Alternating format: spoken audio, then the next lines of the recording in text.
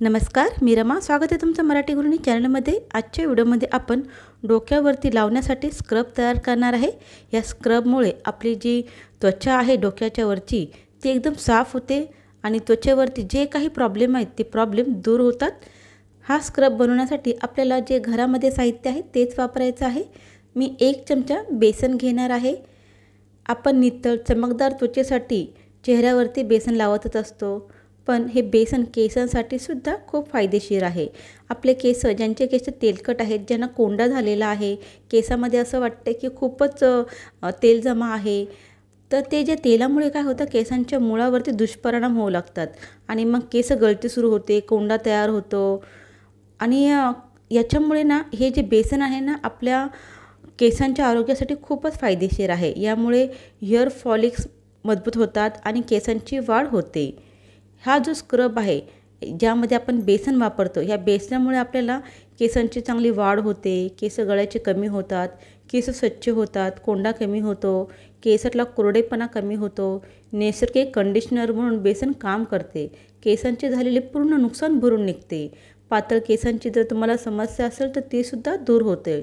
डोक्यामध्ये येणारी खास कमी होते आणि या सगळ्या फायद्यामुळेच केस चमकदार आणि लांब होतात. दुसरं जे साहित्य आहे ते आहे कॉफी. कॉफी केसांसाठी अतिशय चांगली आहे. कॉफीमध्ये जे कॅफिन असतं त्यामुळे केस मजबूत आणि लांब होण्यास मदत होते.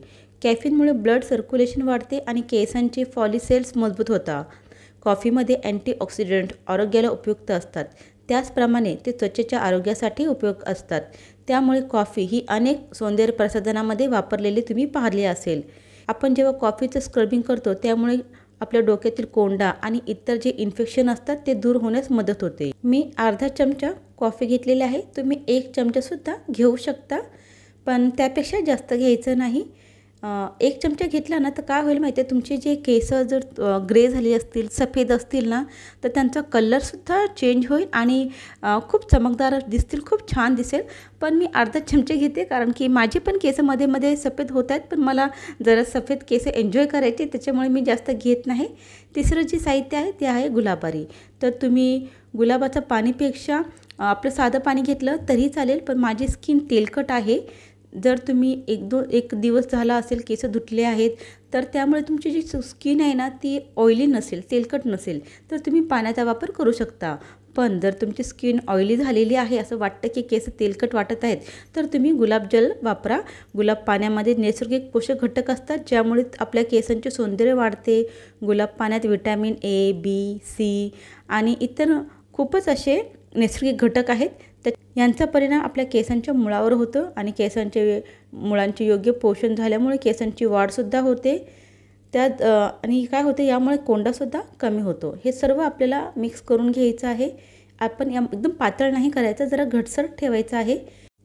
सर्वात अगोदर केस विंचळून घ्यायचे आहे आणि त्याचा गुंता काढून घ्यायचा आहे. तसं तर आपण नेहमी केस धुताना गुंता काढूनच घेतो पण हा स्क्रब लावण्याच्या अगोदरसुद्धा आपल्याला गुंता काढून घ्यायचा आहे. आणि आपल्याला केस दोन पार्टमध्ये करायचे आहेत. आणि त्याच्यानंतर आपल्याला अशा पद्धतीने हा स्क्रब केसांच्या मुळाशी लावायचा आहे. आपल्याला केसांना नाही लावायचा केसाची जी त्वचा आहे त्या त्वचेला लावायचा आहे आणि हलक्या हाताने तिथे चोळायचं आहे.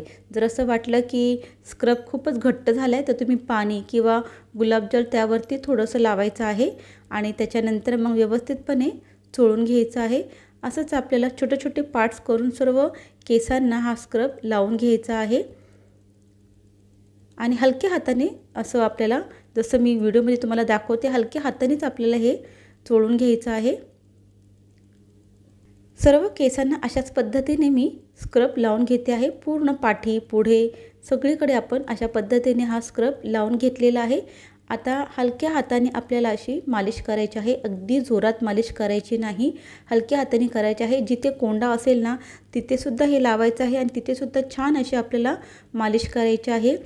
हलक्या हाताने पाच मिनटं मालिश करायची आहे आणि त्याच्यानंतर पुन्हा आपले जे केस आहेत ते एकत्रित करून त्यांना बांधायचं आहे. त्यांचा आंबोडा बांधा किंवा तुम्ही त्यांना हेअर क्लिप लावलं तरीही चालेल.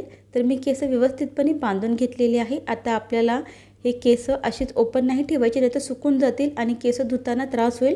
तर मी एक प्लॅस्टिकची पिशवी अशा पद्धतीने त्याच्यावरती लावून घेते. आणि त्याच्यानंतर आपण अर्धा तास ते एक तास हे ठेवून घ्यायचं आहे आणि त्याच्यानंतर केस स्वच्छ धुवून घ्यायचे आहे. साध्या पाण्याने केस धुवायचे अगदी गरम पाण्याने केस धुवायचे नाही. आता पावसाळा सुरू आहे तर तुम्ही कोमट पाण्याने धुवू शकता. अगोदर साध्या पाण्याने धुवायचं आहे आणि त्याच्यानंतर आपल्याला साधा शॅम्पू जो कोणता तुम्ही वापरताय तो शॅम्पूने आपल्याला केस धुवायचे आहे. आता बेसन हे स्क्रबिंगचं काम करतच आहे आणि अगोदरच्या बायका तर बेसनानेच केस धुवायची पण आपण शॅम्पू वापरणार आहोत कारण की आपण जे काही कॉफी प्लस बेसन लावलेलं आहे ते पूर्ण निघालं पाहिजे. त्याच्यामुळे तुम्ही शॅम्पू अवश्य लावा आणि केस छान असे धुवून घ्यायचे आहे. आठवड्यातून दोन वेळा तुम्हाला हे स्क्रबिंग करायचं आहे. तुम्ही जेव्हा एकदा हे स्क्रबिंग करताना तेव्हा तुम्हाला रिझल्ट दिसेल. आणि जर तुम्ही हा उपाय करून पाहिलात तर तुम्हाला हा रिझल्ट कसा दिसला तुम्हाला पहिल्याच वेळेला काय फरक जाणवला ते कमेंटमध्ये नक्की सांगा. आणि अशाच व्हिडिओसाठी चॅनेलला लाईक करा सबस्क्राईब करा.